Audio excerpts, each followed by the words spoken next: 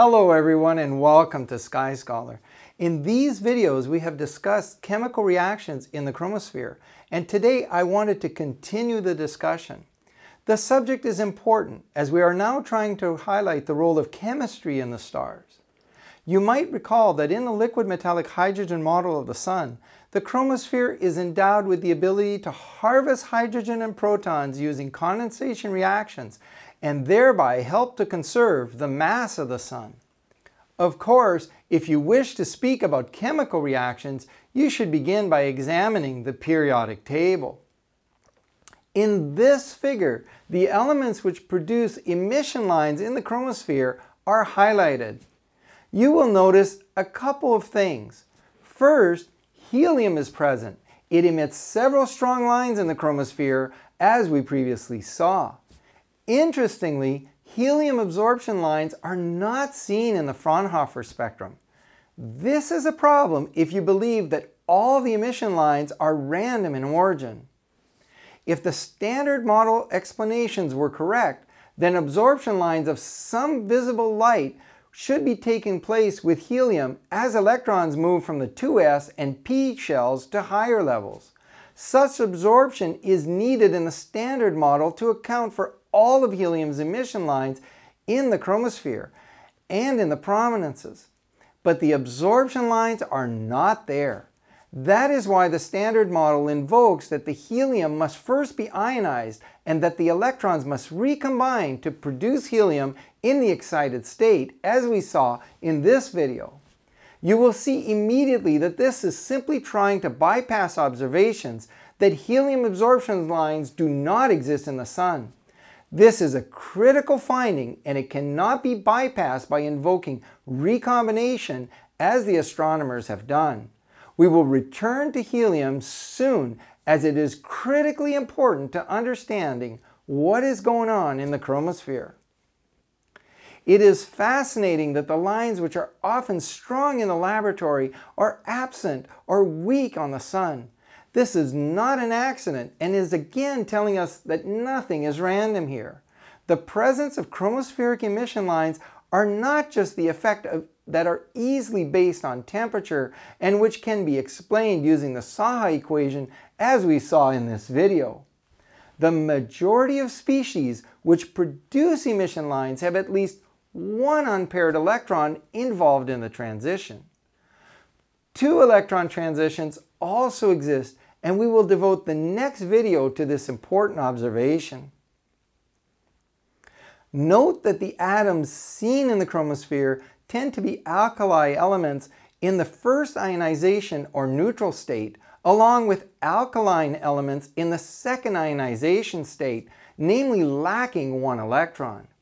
In addition, we find some, but not all transition metals, and a surprising amount of rare earths in the second ionization state like europium-2.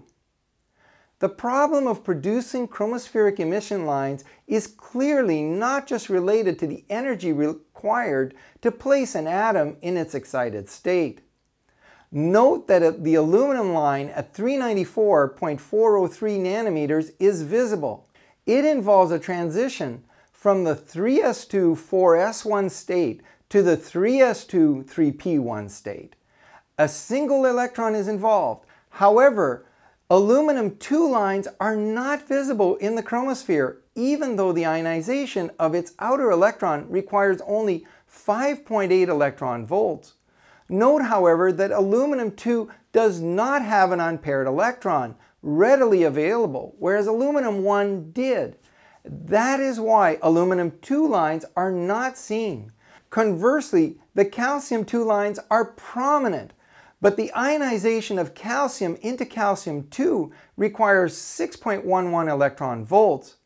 That is even more than the 5.8 electron volts required for aluminum 2 lines. The key point, once again, is that the calcium 2 lines involve a single unpaired electron, as you can see in these equations.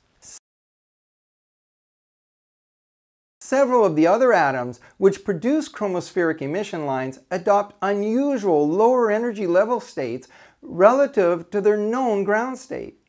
The singlet lines of oxygen are an example.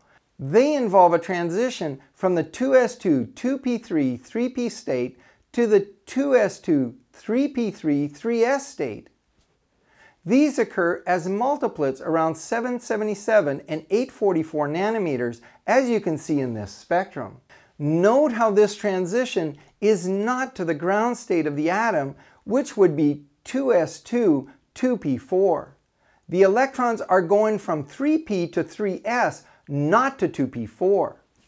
The strong magnesium 1 lines are another example.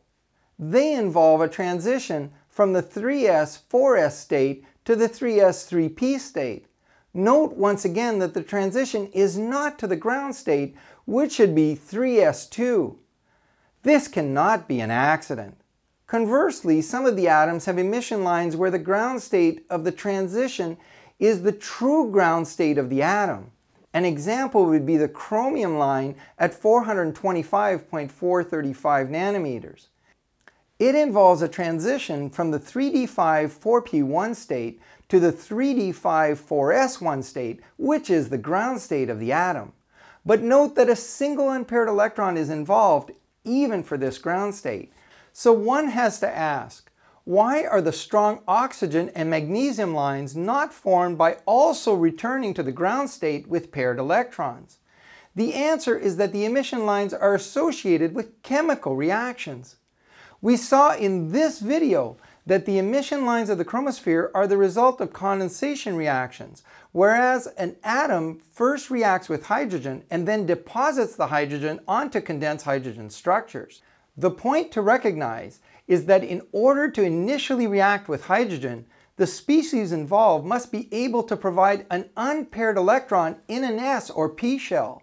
When it finally releases the hydrogen, it returns to the state from which it came, and that now involves unpaired s or p shell electrons. It is known that the rare earth ions like europium-2 and lanthanum-2 often have a single electron in the S shell, and that this enables them to react chemically as a group 1 element. Group 2 ions like magnesium-2 and calcium-2, which have likewise lost a single electron, also share the same feature.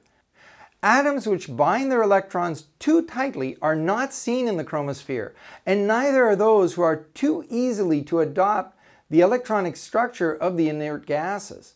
Astronomers tried to argue that the elements seen merely reflect low ionization energies, but it is much more than that. Many of the rare earth elements are overly strong in the chromosphere given their expected concentration in the Sun. The only explanation is that we are seeing amplification of certain elemental emission lines as a result of chemical reactions. Those elements which can participate are seen in emission, and those which cannot are not. I have argued that the key determinant of what is seen should be the ability to form a metal hydride and deliver hydrogen to a condensed hydrogen structure. I hope that you enjoyed the video today and that you are starting to appreciate the importance of chemistry in properly understanding astrophysics.